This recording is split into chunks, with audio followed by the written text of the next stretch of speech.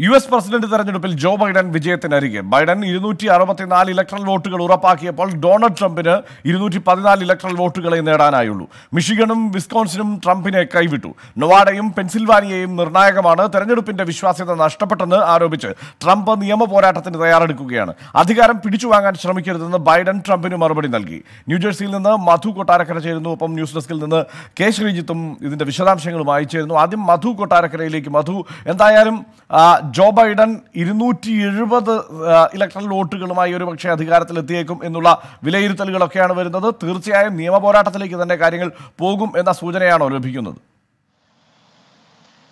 Good morning Harshan. അങ്ങനെ തന്നെയാണ് സൂചനകൾ ലഭിക്കുന്നത്. ഇരുന്നൂറ്റി അറുപത്തിനാല് സീറ്റുകൾ ജോ ബൈഡന് കൺഫേം ആയി കഴിഞ്ഞിരിക്കുകയാണ്. അതിൽ ആറ് സീറ്റുകൾ കൂടാണ് വേണ്ടിയത്. അതിൽ നെവാഡ എന്ന് പറഞ്ഞ സംസ്ഥാനം ആറ് ഇലക്ട്രൽ വോട്ടുകളുള്ള സംസ്ഥാനമാണ്. അവിടെ എഴുപത്തി അയ്യായിരം വോട്ടുകളുടെ ലീഡാണ് ബൈഡന് ഇപ്പോൾ ഉള്ളത്. അവിടെ എൺപത്തിയാറ് ശതമാനം പോളിംഗ് വോട്ടുകൾ എണ്ണിക്കഴിയുകയും ചെയ്തു.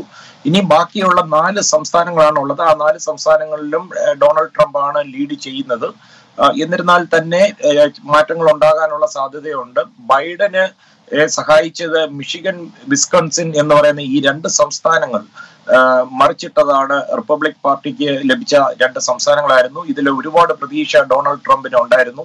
ഇതിൽ വിസ്കോൺസിനിലെ ഇരുപതിനായിരം വോട്ടിന്റെ മാത്രം ലീഡാണ് ബൈഡന് ലഭിച്ചത്. അത് റീകൗണ്ട് വേണം എന്ന് പറഞ്ഞ് ട്രംപിന്റെ ക്യാമ്പ് പോയിട്ടുണ്ട്. അതുപോലെ മിഷിഗനിൽ എഴുപതിനായിരം വോട്ടുകളുടെ ലീഡ് ലീഡാണ് ലഭിച്ചിരിക്കുന്നത്.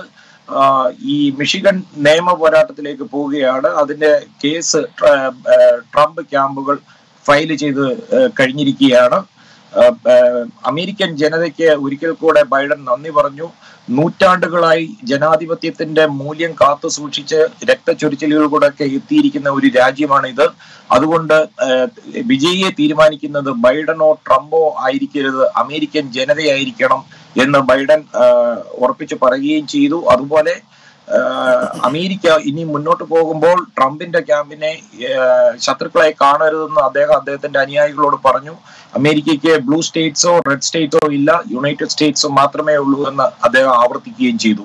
ഹർഷൻ. തീർച്ചയായും ഇതൊക്കെ പറയേണ്ടി വരുന്ന സാഹചര്യം എന്നത് തുടർച്ചയായ ഏതാണ്ട് ആറ് ട്വീറ്റുകളാണ് ഇതുമായി ബന്ധപ്പെട്ട് ഡൊണാൾഡ് ട്രംപ് നടത്തിയിരിക്കുന്നത്. നിയമ പോരാട്ടത്തിലേക്ക് പോകും എന്ന സൂചന തന്നെ നൽകുന്നു. മാത്രമല്ല ഈ സിസ്റ്റം അപ്പാടെ തകർന്നു എന്ന നിലപാടാണ് ഡൊണാൾഡ് ട്രംപ് സ്വീകരിക്കുന്നത്. തെരഞ്ഞെടുപ്പ് അട്ടിമറിക്കപ്പെട്ടു എന്ന് പറയുന്നു. എവിടെ നിന്നാണ് ഈ വോട്ടുകളൊക്കെ എത്തുന്നത്? തപാൽ വോട്ടുകൾ എന്ന് ചോദിക്കുന്നു. അങ്ങനെ അദ്ദേഹം ഒരു തരത്തിലും ഈ തെരഞ്ഞെടുപ്പ് പരാജയം അംഗീകരിക്കാൻ തയ്യാറല്ല എന്ന നില തന്നെയുണ്ട്.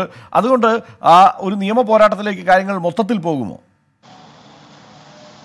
തീർച്ചയായിട്ടും ട്രംപ് എല്ലാ സാധ്യതകളും ഉപയോഗിക്കും. ബൈഡൻ പ്രസിഡന്റിന്റെ സീറ്റിൽ എത്തുന്നത് തടയുവാനായിട്ട്.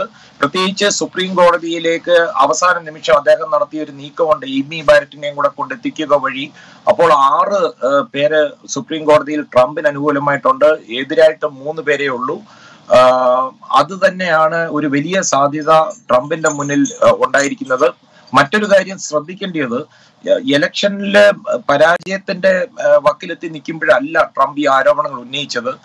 ഇലക്ഷൻ തുടങ്ങുന്നതിന് ആഴ്ചകൾക്ക് മുന്നേ തന്നെ ഈ തപാൽ വോട്ടുകളുടെ കാര്യത്തിൽ ട്രംപിന് ശക്തമായ എതിർപ്പുണ്ടായിരുന്നു അവിശ്വാസം ഉണ്ടായിരുന്നു.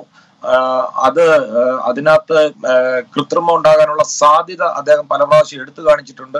ഇപ്പൊ സ്ഥിരീകരിക്കാത്ത ചില വാർത്തകൾ വരികയും ചെയ്യുന്നുണ്ട്. അതായത് ചില ഏരിയകളിൽ മൊത്തത്തിൽ ഡെമോക്രാറ്റിക് പാർട്ടിയുടെ മെയിൻ ബാലറ്റുകളായിട്ട് മാറിയതായിട്ട് സ്ഥിരീകരിക്കാത്ത വാർത്തകളുണ്ട്. അതുപോലെ തന്നെ മൊത്ത രജിസ്റ്റേർഡ് വോട്ടുകളുടെ എണ്ണത്തിൽ കൂടുതൽ വോട്ടുകൾ വന്നതായിട്ടും സ്ഥിരീകരിക്കാത്ത വാർത്തകളുണ്ട്. നമുക്ക് വരും മണിക്കൂറുകളിൽ അതിൽ അതിനകത്ത് ഒരു സ്ഥിരീകരണം ലഭിക്കുമെന്ന് പ്രതീക്ഷിക്കാം. ഹർഷൻ.